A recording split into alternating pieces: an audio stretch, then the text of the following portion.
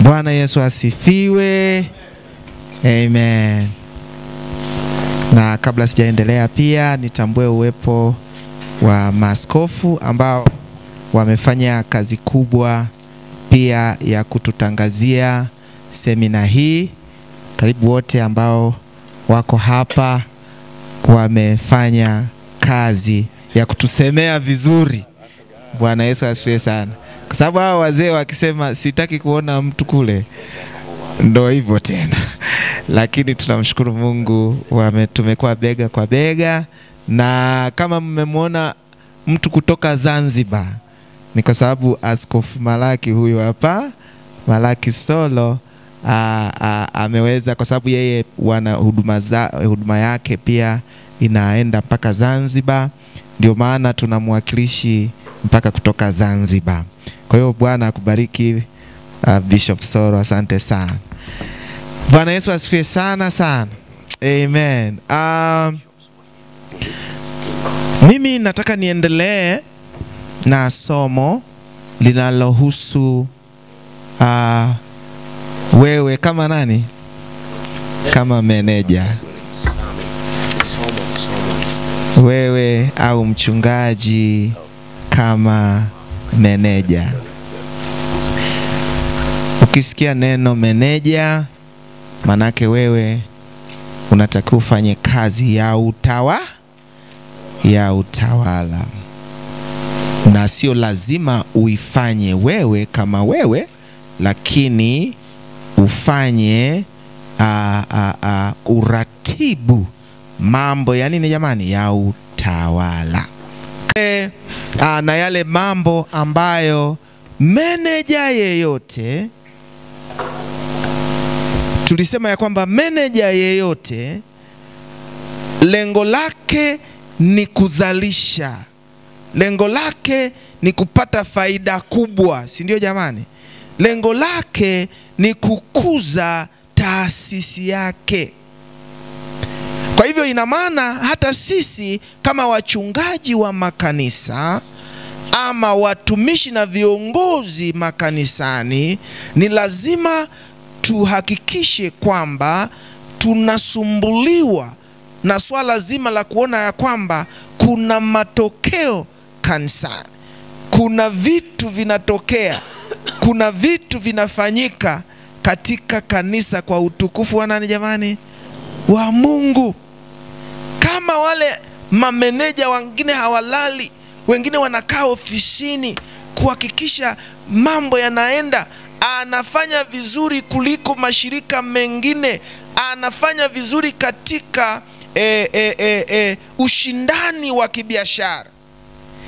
Lazima hata sisi tuwe na hiyo hali ya kuona ya kwamba ni lazima tushughulishwe na ukweli kwamba e, kazi zetu ziwe na ufanisi zaidi, zikuwe zaidi na zi, ziathiri jamii kubwa zaidi. Bwana Yesu asifiwe sana. Na tukasema hivi, kwa upande wako wewe mchungaji na mimi, maana yake ni nini? Maana yake ni kwamba tunatakiwa tuone, tuhakikishe kwamba maeneo yanayoonyesha maendeleo yote tunayagusa, kwa sababu lengo letu ni maendeleo. Sasa jana tuliongea matatu, amen. Ongezeko la nini? Pato la kanisa. Bwana Yesu asifiwe sana. Moja ya vigezo vya kukua kwa kanisa ni pesa kuongezeka kanisani. Bwana Yesu asifiwe sana. Na tunapozungumzia pesa kuongezeka kanisani ni kwa sababu ya yale ambayo tumeendelea kuyasema mahali hapa. Hebu tufungue uh, Mathayo kumi na nne mstari wa ishirini na nane. Ukishaona neno gharama ni pesa si ndio jamani? Ukishaona neno gharama manake pesa, vitu ambavyo vitakusaidia kukufikisha unapotaka kuwepo. Amen. moja ya hivyo vitu jamani, tuseme ukweli, ni pesa, na tunaona ya kwamba hata enzi za Bwana wetu Yesu Kristo ilionekana kwamba pesa zilihitajika, ndio maana wakawa na mfuko.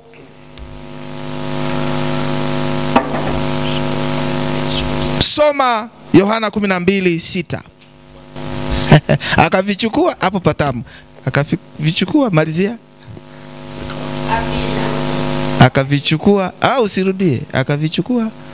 Akavichukua vilivyotiwa. Vilivyotoka kwenye mfuko. Tutaongelea hicho kipengele baadaye. uh, kwa hiyo tunaona kwamba hata Yesu alijua moja ya vitu vitakavyotusaidia mimi na watu wangu hawa tuwe na mfuko. Kosa tu lililofanyika kama ni kosa, ni nani alishika mfuko, lakini hatutaki kukosoa hapo lakini walikuwa na nini jamani? Na mfuko. Lazima tushughulishwe kuhakikisha pia kuna ongezeko la fedha,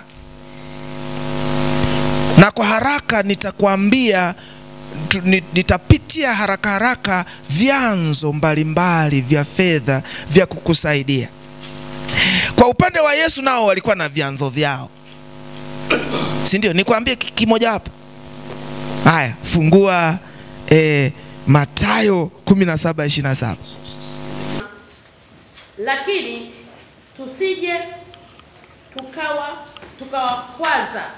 Enenda baharini ukatupe ndoana, Eh, ukatwae samaki yule azukae kwanza, eh, na ukifumbua mdomo wake Eh. utaona shekeli. mapato. Haleluya. Wenzetu waliokuwa na Yesu mapato yalikuwa yanapatikana mpaka kwenye matumbo ya samaki. Lakini somo tunalolipata hapa, lazima uwe na vyanzo vya nini? Vya mapato. Inaonyesha kwamba ni kweli, kuna ukweli pia kwamba vyanzo vingine ni vya miujiza. Amen. Mimi nilipokuwa najenga kanisa niliona vyanzo vya kupangilia sisi wenyewe na niliona vyanzo vya miujiza. Mtu ambaye alikuja siku ya kwanza, kwa mara ya kwanza ametutembelea. Tuko kwenye kanisa la mabati, mimi nimeabudu kwenye mabati yaliyooza miaka hii, nimeabudu limekaa hivi kanisa, mkiingia mnasema Bwana lisianguke leo. Kuna injinia moja alitutembelea akasema, mchungaji, hapa si utaua washirika hapa kwa sababu hicho kijengo kilikuwa sio imara sana, lakini tumekaa hapo miaka mingapi? Miwili, ila tulipo leo sio pale tulipokuwa ja juzi. Sasa tulipokuwa tumeanza ujenzi haujaisha, huyo bwana akaja akasema, hivi kumalizia hili jengo ni shilingi ngapi? Tukamwambia, nikamwambia mtu wa, wa, wa, wa ujenzi nikasema, ah, huyu ndo kiongozi wetu na mwenyekiti wa, wa ujenzi, yeye ana, ana data zote. Yule mwenyekiti alikuwa na data hapa kichwani tayari, akasema tunahitaji kama milioni ishirini kumalizia. Jamaa likaingiza mfukoni saa hiyo hiyo likatoa dola elfu kumi ambayo ilikuwa sawa na milioni ishirini na mbili. Huyo samaki si samaki. Lakini je, kwenye ule mfuko hela zilizokuwemo zote zilikuwa zinatokana na samaki? Aha, kwa hiyo kulikuwa na vyanzo vingi vingine, si ndio jamani? Tunaelewana. Sasa sisi kama wachungaji ni vema tu uh, kwa sababu tumesema kama wa, mameneja wachungaji kama wa, mameneja lazima tuhakikishe tunazalisha tunasababisha vitu, vitu, vitu kufanyika katika mazingira yetu na katika makanisa yetu na katika huduma zetu. Na moja ya namna ya kusababisha mambo hayo ni pesa. Sasa tunazipataje? Kuna vyanzo vingi tunavifahamu. Kwanza ni matoleo. Si ndio yale matoleo yale yale ni chanzo kinachoweza kutusaidia kutuhamisha kutoka mahali kutupeleka mahali. Wala usiseme "He, ungejua wewe sisi matoleo yetu ni shingapi? Usingesema. Kwamba haziwezi kufanya chochote. Unajua tulivyochukua kanisa ambayo tunalichunga leo tulianza na washirika kama kumi na mbili hivi. Kwanza tulianza mimi na mke wangu nyumbani. Sawa? Kwa hiyo mshirika wangu wa kwanza mimi ni huyu mama. Nilimuhubiria kidogo aokoke mara ya pili. Wiki iliyofuata mimi ndo nikawa mshirika akanihubiria mimi. Sebuleni kwetu ndio tulivyoanza. Amen? Baadaye tukapata mahali watu kumi na mbili ilikuwa inapatikana sadaka. Mkango atanikumbusha. Ehe, kwa mwezi mzima tulikuwa hata wakati mwingine hatukaribii manake inaweza ikawa elfu ishirini kwa kila ibada. Sawa. Na mara nyingi elfu kumi na zaidi tulikuwa tunatoa mimi na mke wangu. Sasa hesifanya mahesabu tulikuwa tunapata sadaka ngapi? Sawa? Lakini tukamwambia yule mtunza fedha hizi fedha kabla e, katibu kabla hazijatumika tufungue akaunti ziende kwenye akaunti akasema nini? Tukasema tunafungua akaunti akaunti hela zenyewe ziko wapi? Wewe mwenyewe mchungaji tunaogopa hata tutaku, tu- tu- tukupe nini maana hela zenyewe zinazopatikana ni kidogo sana. Nikasema sawa lakini tufungue nini? Akaunti. Tukafungua tunaweka. Tukakubaliana mimi nitahitaji kiasi gani? Sawa eh? kama mchungaji. Kulikuwa na hela zinabakibaki kidogo. Kwani zikibaki jamani elfu tano tano kila mwezi miezi sita ni shilingi ngapi? Hujanunua chombo cha sadaka kizuri hayo sio maendeleo. Eh, lichombo la sadaka limekaa mwaka mzima mpaka limekuwa jeusi. Wewe unaangalia tunasema una hela. Ina maana wewe huna mawazo ya maendeleo. Ya, ah, naongelea mapato ya kanisa. Kwa hiyo matoleo. Amina? Unaweza ukasema watu hawatoi mwenye, mwenye, mwenye kuwafanya watoe ni nani jamani? Si ni wewe? Na nikupe mbinu. Mojawapo fundisha mwenyewe. Haleluya. Fundisha utoaji. Halafu hamasisha. Na namna mojawapo ya kuhamasisha utoaji ni wewe kuwa mfano. Amen manake mchungaji ikusumbue kuhakikisha una kitu cha kumtolea mungu. Manake vocha ikiisha jumamosi na kesho unajua unatakiwa utoe sadaka. Usinunue hiyo vocha siku hiyo maana utakosa sadaka ya kesho. Alafu utatoa mfano gani? Huinuki washirika wainuka kutoa sadaka? Si mnanielewa? Bora uahirishe nini? Vocha. Maana unatakiwa uwe mfano na huo mfano ndio unaowahamasisha watu kufanya mungu atusaidie sana. Na kitu kingine ni uadilifu. Fedha zikitolewa watu waone matokeo. Wanapoona matokeo ya fedha zinazo kazi inayofanya fedha yako watu wanahamasika kutoa. Ni swala la kisaikolojia na limethibitishwa hata kiroho. Bwana yesu asifiwe. Sio wewe unapiga unaitisha tu alafu zikija unapiga unaitisha zikija unapiga mi nakwambia fuatilia utaona inaanza kufanyaje? Kushuka. Kwa hiyo Mungu atusaidie katika hilo. Sitaki kwenda zaidi, lakini kwanza matoleo, lakini pili, michango ni tofauti. Jamani, tunahitaji kununua eh, bati. Tunataka kununua bati thelathini jamani, tuwezeke kitu kama hicho. Huwezi kutegemea matoleo ya kila wiki, si ndio jamani? Lazima uanzishe michango. Bwana Yesu asifiwe sana. Tulipoanza kujenga tulianzisha michango, kila mshirika tukamwomba aahidi, si ndio, atatoa mchango gani? Tupate fedha kiasi fulani ili tuanze ujenzi awamu ya kwanza. Tulichofanya sisi ni, kuli, ni, kulifa, ni kugawa ujenzi wetu kwenye awa, awamu. Jamani, awamu ya kwanza inahitaji labda milioni kadhaa. Tunazitafuta hizo kwanza, alafu tunaweka pale, kanisa linafika, si wanaona inaongezeka, ile inawahamasisha pia.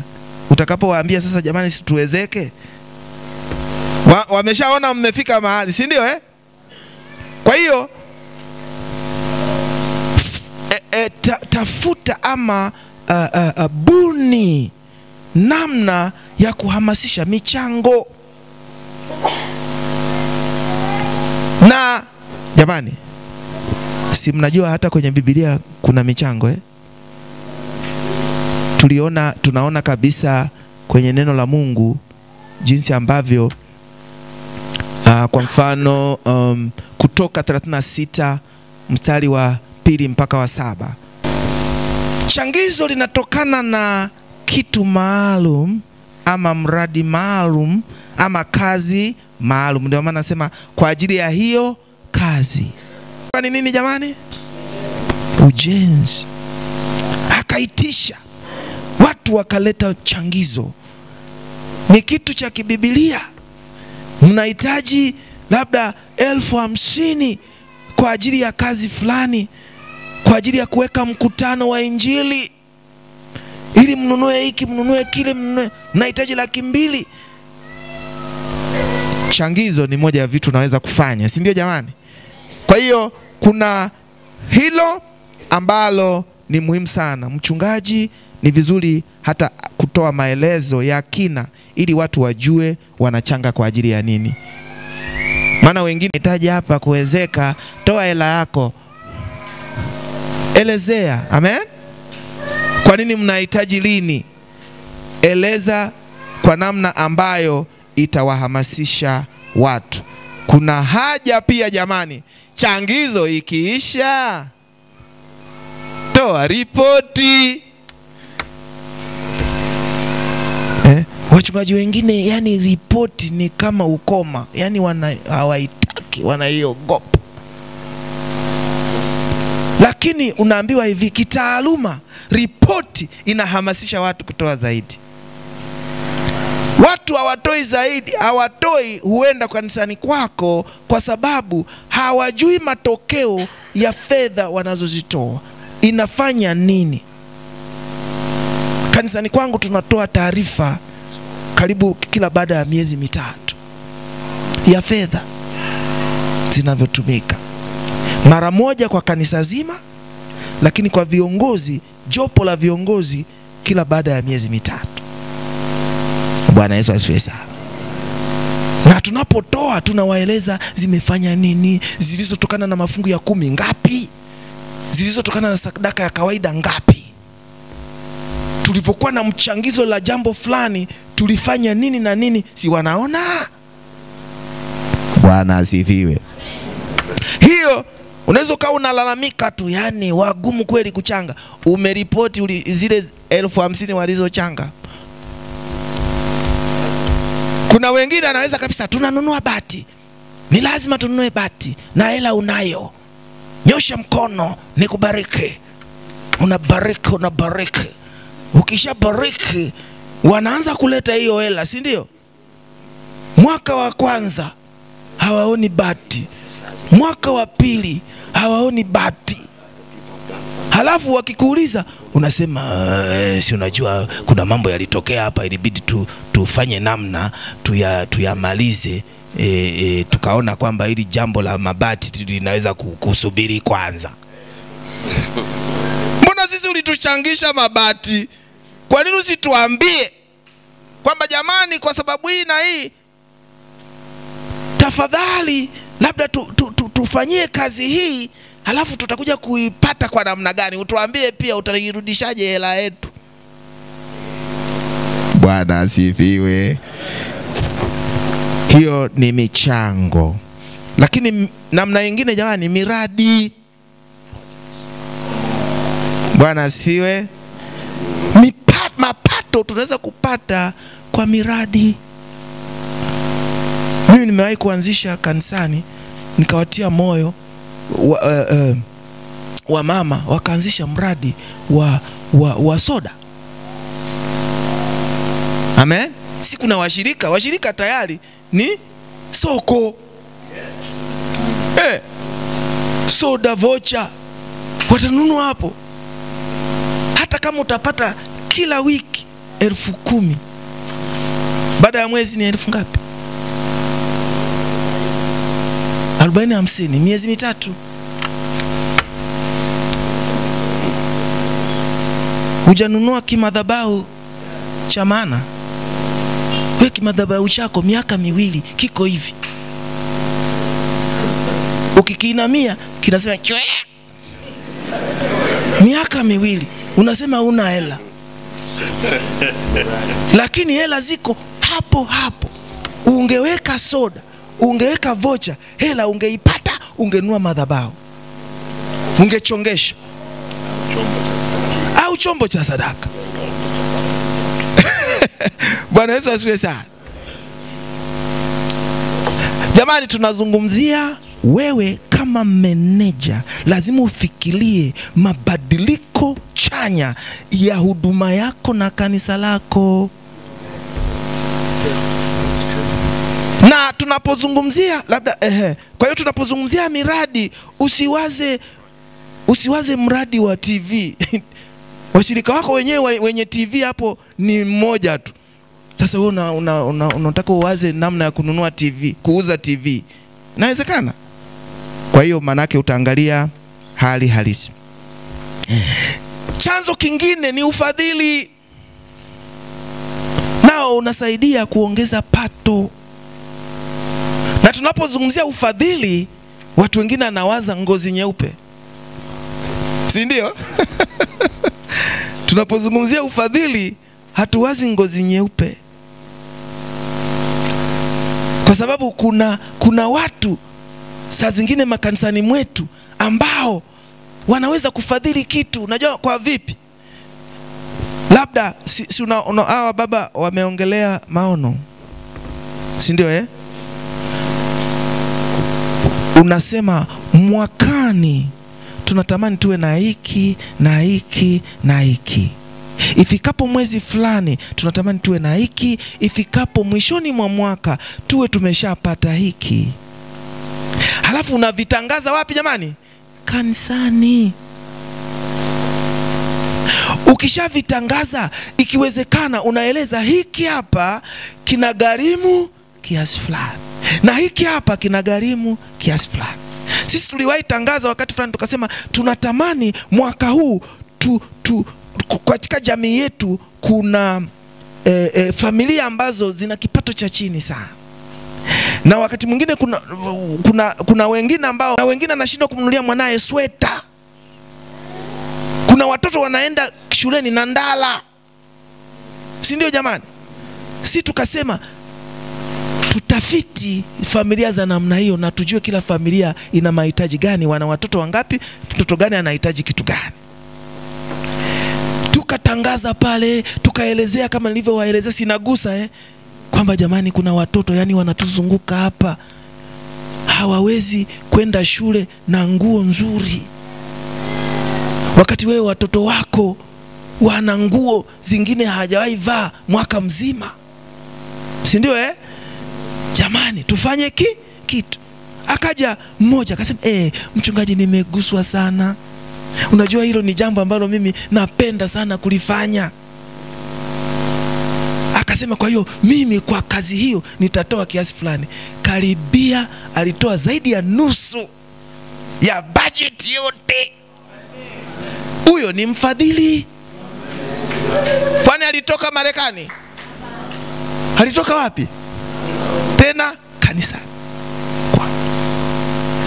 Hapo ndani kuna wafadhili, lakini utawapataje? Elezea kitu ambacho kila mtu ataona hiki kweli tunakihitaji, hili kweli ni hitaji. Haleluya! Na nyinyi ambao labda ni wazee wa kanisa, wasaidieni wachungaji wenu kwenye vikao vyenu, toeni ushauri mzuri wa kimaendeleo. Amina. Na hiyo itamtukuza Mungu kama kuna kitu kitabadilika kwa sababu wewe umetoa ushauri, si ndio? Haya jamani, la ta, la, ni la ngapi hilo? Chanzo cha ngapi? Cha tano eh? Cha nne, mikopo. Mikopo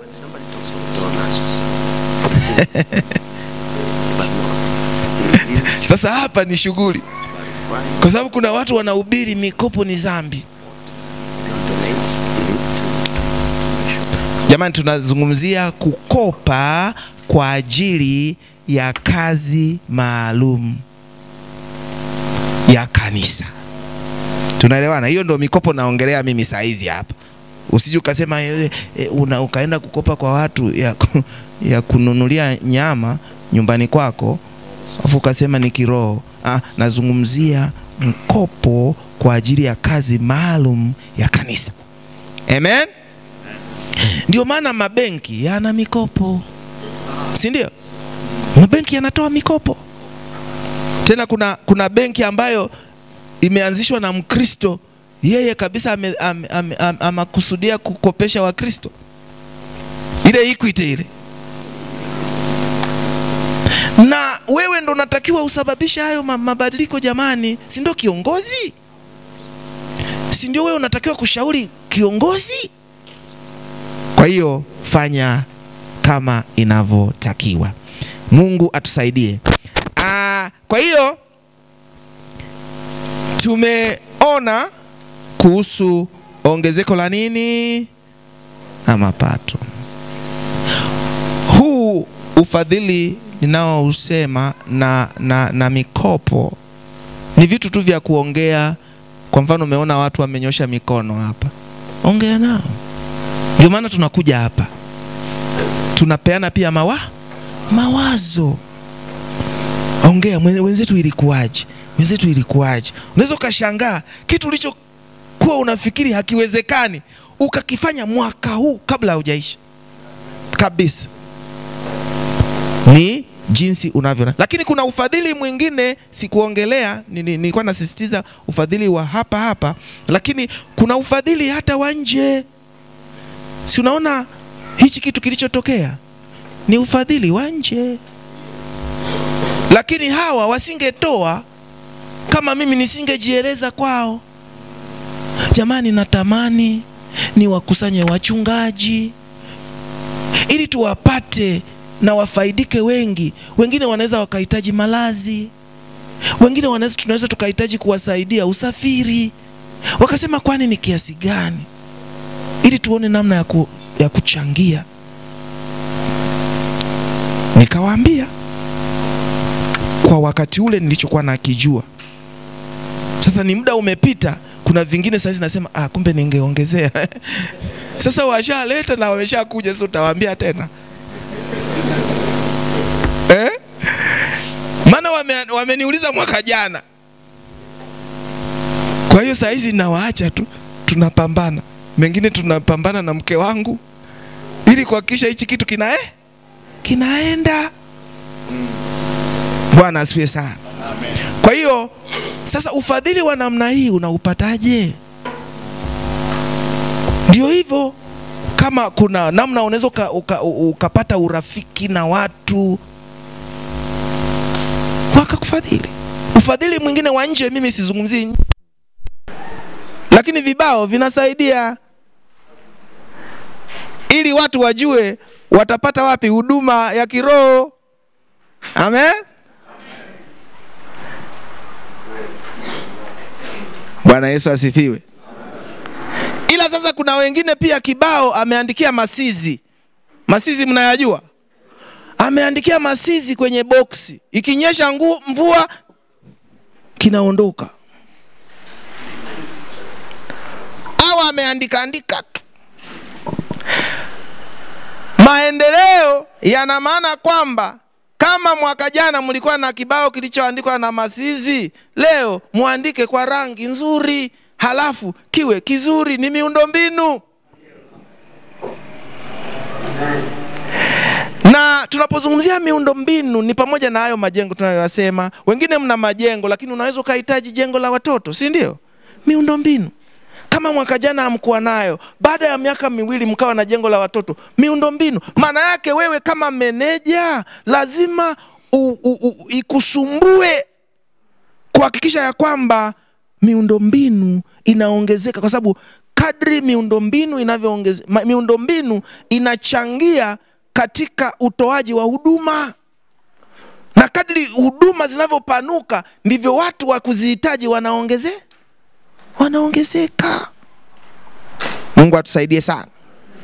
Kwa hiyo ni vizuri kuhakikisha ya kwamba kuna vitu vinabadilika. Wengine kabisa, kuna mahali panahitaji rangi ya elfu kumi na tano sawa jamani, lakini pako vibaya hivyo hivyo, mwaka nenda miaka rudi. Ulitakiwa tu utafute elfu kumi na tano upake pale rangi nzuri. Hiyo ni miundombinu na inasaidia sana katika kuhamasisha watu kujisikia vizuri kuwepo hapo kanisani. Haleluya! Kwani elfu kumi na tano lazima itoke Ulaya? Jamani, si unazo? Na namna nyingine, kwa vyovyote vile inaweza ikahitaji kutoka kwako mwenyewe. Bwana Yesu asifiwe sana. Ni lazima pia tujue ya kwamba Bwana anatutazamia uh, kufanya sisi wenyewe kwanza, kuonyesha mfano. Kwa hiyo kama kuna wakati ambapo utaita, eh, kuna wakati ambapo utahitaji kutoa hela zako mfuko mfukoni. Bwana Yesu asifiwe sana. Kwa hiyo hilo la miundombinu bila shaka uh, linaeleweka kwa urahisi zaidi, kwa sababu ni vitu ambavyo tunapambana navyo kila siku kuhakikisha kwamba kuna mambo yanatokea. Bwana Yesu asifiwe sana. Kwa hiyo uh, niingie kwenye hili la mwisho sasa ambalo tulisema ya kwamba namna mojawapo ya kuonyesha kwamba kuna maendeleo kanisani ni ufanisi au uwezo wa kuwategemeza watumishi. Amen, watumishi, si ndio? Sasa unaweza ukasema hii imekaaje? Kanisa lolote lilo jamani, linalomhudumia vizuri mchungaji wake ni, ni dalili ya maendeleo. Na kama huko hapa mzee wa kanisa, kanisa litaonekana kweli wewe upo pale na unafanya kazi yako vizuri, kadri utakavyokuwa unatoa mawazo ya namna gani tuboreshe huduma kwa mchungaji wetu. Wazee wa kanisa mpo? Mikono juu, au mashemasi, mikono juu. Asante sana.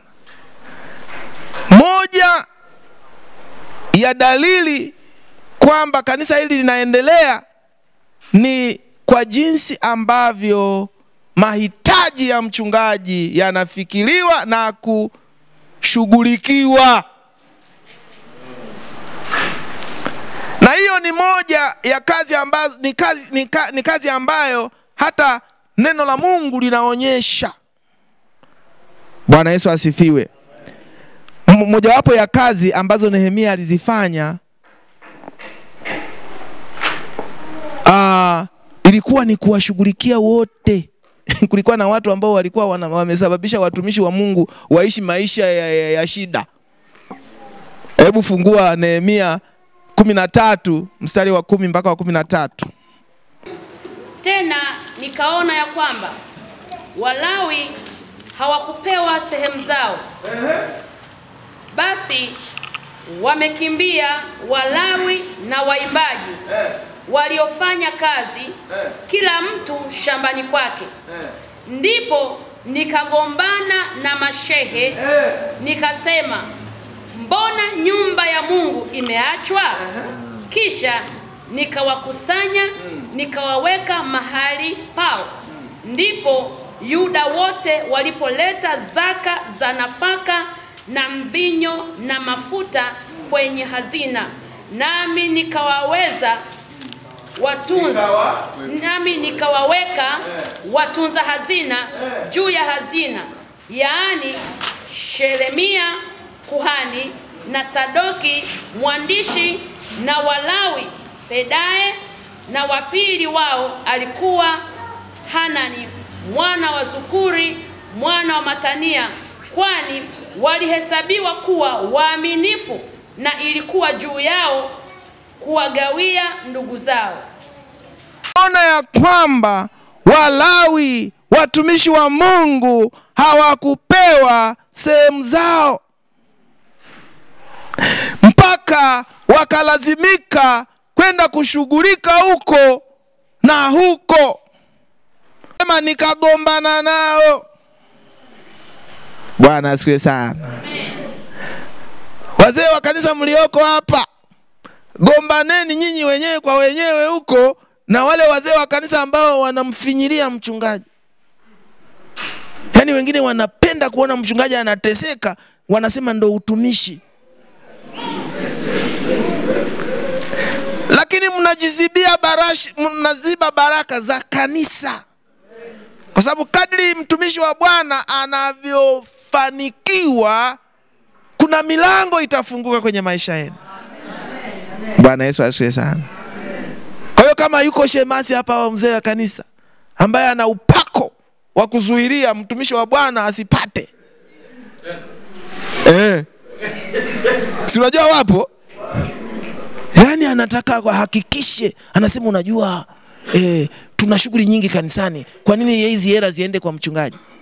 Mimi nimewahi kuwa na mshirika wa namna hiyo. Alikasirika kuna kuna alikasirika. Si kuna si kuna uh, ilikuwa ni nini ile? Nika nikapewa pewa vitu hapo kanisani. Si ni siku ya mchungaji hii akaona yani kuna watu wenye shida humu kanisani. Halafu mn- mnampelekea mchungaji hivi vitu.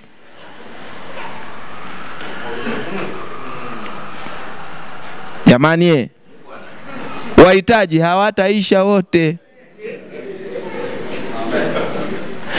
Mwenzenu mchungaji nisubiri mpaka wahitaji waishe ndo mnifadhili. Mungu atusaidie sijui naongea na nani lakini nashukuru kuna maaskofu hapa. Kweli kabisa maaskofu moja ya injili iwe ni kuwasaidia wachungaji. Hata nyinyi wenyewe mwe na mipango ya kuwasaidia wachungaji msiseme sisi tulianza kwa shida. Maaskofu wana hiyo sana. Mi nimefika hapa angejua nimetokea wapi. Ah, sasa wewe ni wewe hakukuwa na mtu mwenye uwezo wa kukusaidia labda sasa wewe umeona kabisa yule una uwezo kabisa kanisa lako lina vinanda vitatu kuna mtu kule kijijini mvumi ana shida ya kinanda wewe unaweza kumsaidia hata kama wewe ukusaidiwaga. Bwana atusaidie. Kwa hiyo hilo ni jambo la muhimu na ni, ni, kwa kweli mimi, mimi ni kati ya watu walianza kwa shida. Kabisa. Mimi nimemtumikia Mungu katika mazingira ya shida sana, ile kabisa hata ya kukosa chakula katika utumishi wangu, ile ya kufua suruale unaianika unaisubiri ikau